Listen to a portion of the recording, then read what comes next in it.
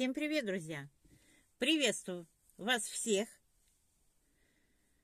у себя на канале. И сегодня снова с вами, а вы со мной. И сегодня есть э, интересная история. Интересная история из жизни моей семьи. Я о семье практически никогда не говорила такого ничего. Вернее, из, из жизни моего папы. Мой папа родился в Житомирской области, Барановский район, село Явное, 30 октября 1937 года. Мой папа был шестым ребенком в семье, но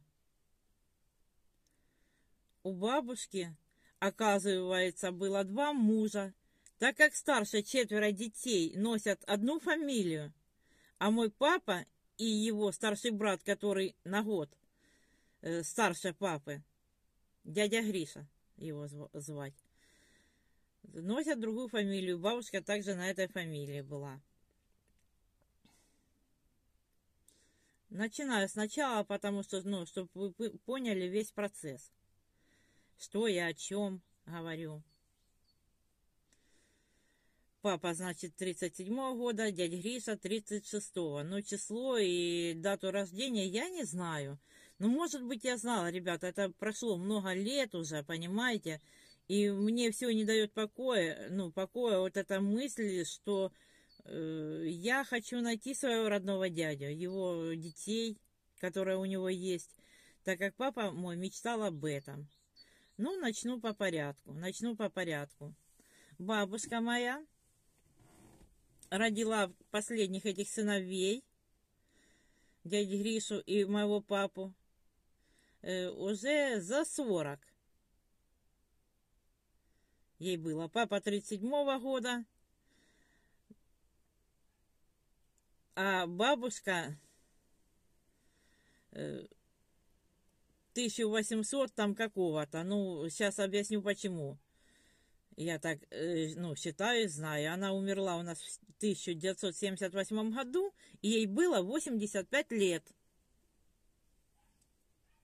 Получается.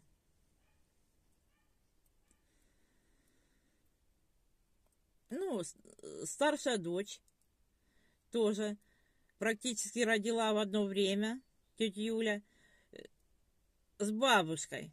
Бабушка рожала моего отца, а она рожала старшего сына Ивана, который является мне двоюродным братом. Представьте. Когда началась Великая Отечественная война, и папа мой, и дядя Гриша были еще очень маленькими детьми. Там четыре года, пять получается. Дедушка погиб. Пришла похоронка, погиб на, при переправе Днепра. Все, больше никаких известий нету.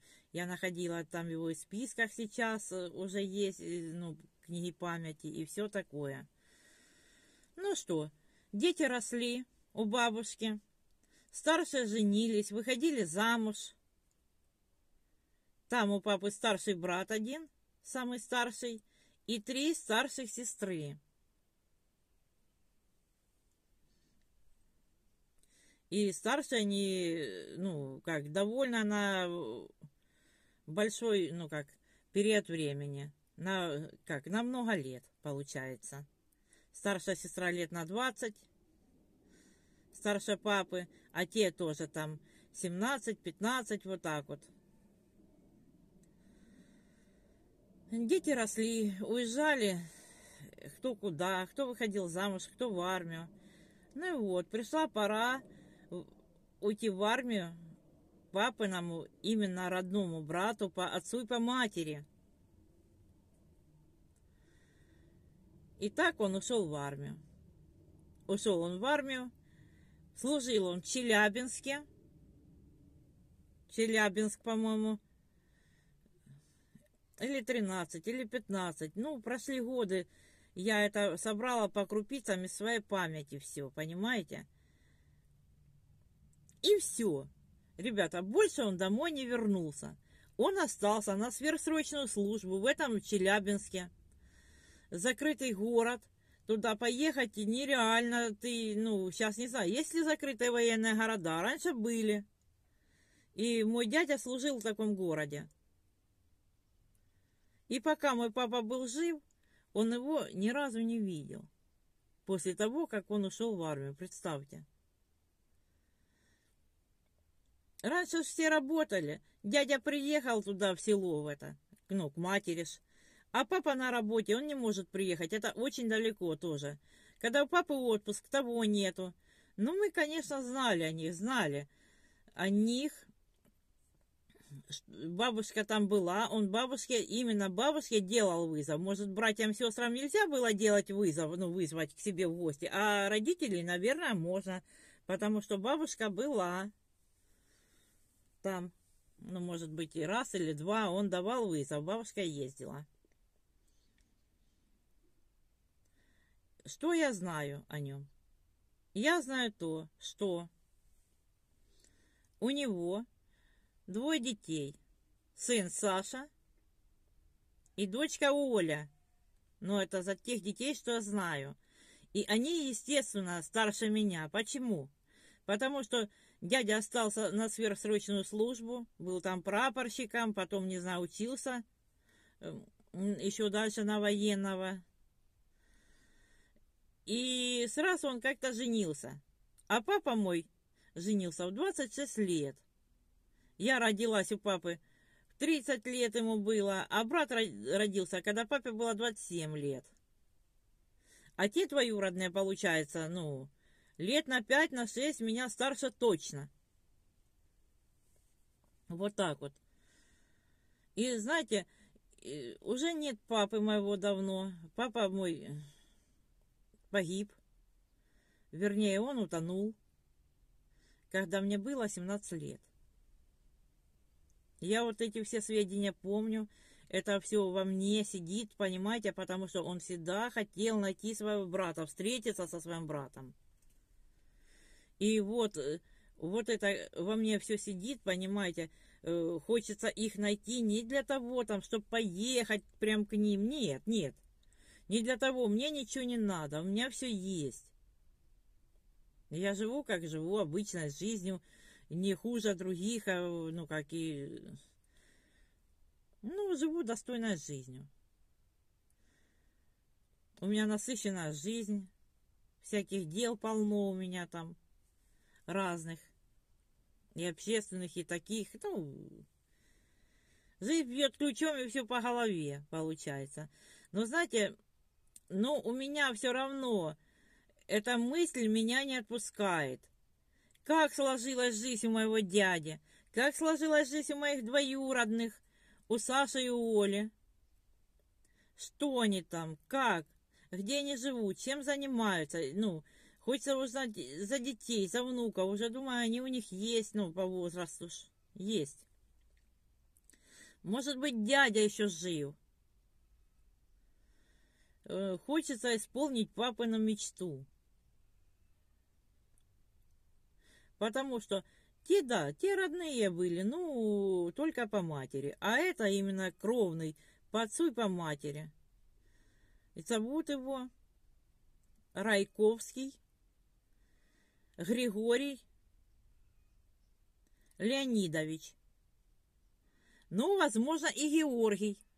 Вот, знаете, крутится у меня в памяти. Мне, кажется, папа говорил, ну, они называли его Гришка, Гриша.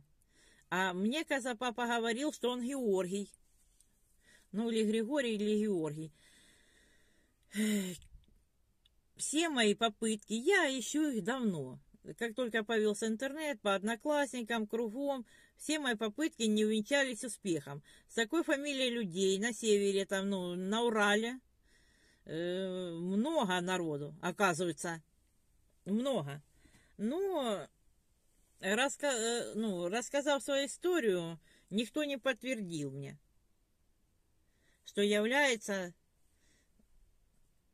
сыном моего дяди. Я и мужчину встречала э, с таким именем Райковский Александр, я писала ему. Кто писал, что нет, кто не писал, вообще блокировал, думает, может, мошенники какие-то. Ну, сейчас, знаете, ж время такое. Но, знаете, не дает все равно покоя мысль.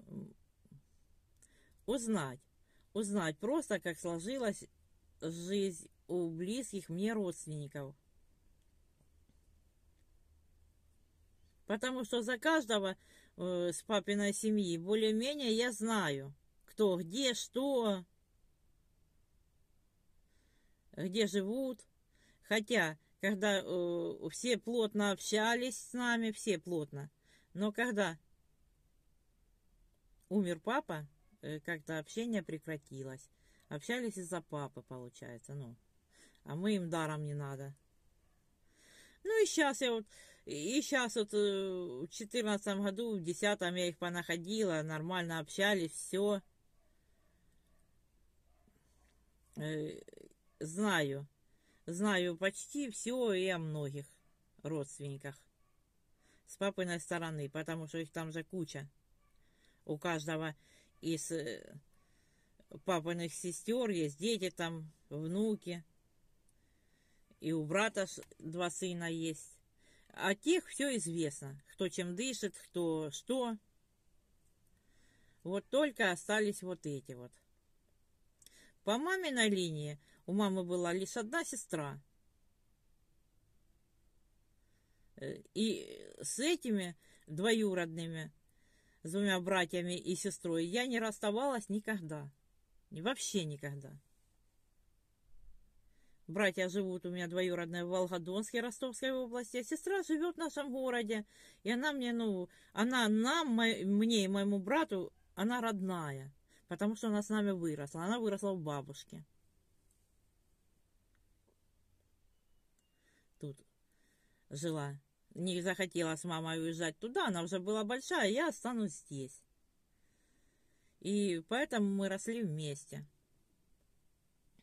Вот такая вот история. Предположительно, э, мой дядя служил и жил там Челябинский номер, по-моему, или 13, или 15, Челябинск 15, ну, я вот уже подзабыла. Но я искала по номерам. Это, предположительно, город Троицк Челябинской области. Знаете, наверное, как зов крови, что ли. Казалось бы, что тебе не хватает? Ну, знаешь и знаешь, и живи со, с этим знанием дальше. Но память о папе. Я папу своего очень любила. Папа любил нас, ну, любил меня вообще. Хочется исполнить его желание. И свое желание есть. Знаете, как кровь людская не водится, да? Все равно зов кровью тянет, тянет прямо узнать, я о них думаю постоянно. Если, может быть, с этого города кто-то э, смотрит, может быть, кто-то служил с моим дядей там, может быть, э, где-то жили, может, пересекались, или с дядей, или э, с моим братом и сестрой, и, возможно, э, просто знакома эта фамилия. Я прошу откликнуться. Мне ничего не надо. Я ни на что не претендую. Как бы просто знать, что у них все хорошо, что они живы-здоровы. И просто, конечно, увидеть хотя бы через интернет, потому что это очень далеко, естественно.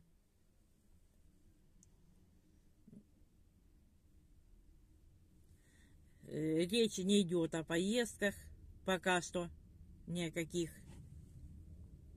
а просто, просто. Как бы знать обо всех и не знать вот именно об этой веточке своей семьи тоже э, как бы, ну, это меня беспокоит, скажем так. Это у меня крутится постоянно в голове. И поэтому я хотела с вами поделиться на эту тему сейчас. Ну вот, вроде и все, что я хотела об этом сегодня рассказать. Спасибо за внимание. Спасибо, ребята, что были со мной. Всем, ребята, пока.